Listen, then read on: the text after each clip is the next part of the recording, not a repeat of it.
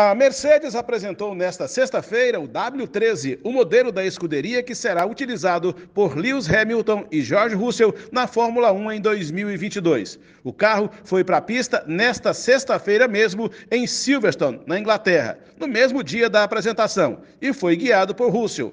O modelo deu algumas voltas em um dos circuitos mais tradicionais da Fórmula 1 na Europa. Hamilton e Russell voltam a pilotar o W13 já na próxima semana, na primeira bateria da pré-temporada da Fórmula 1 2022, que vai acontecer em Barcelona, na Espanha.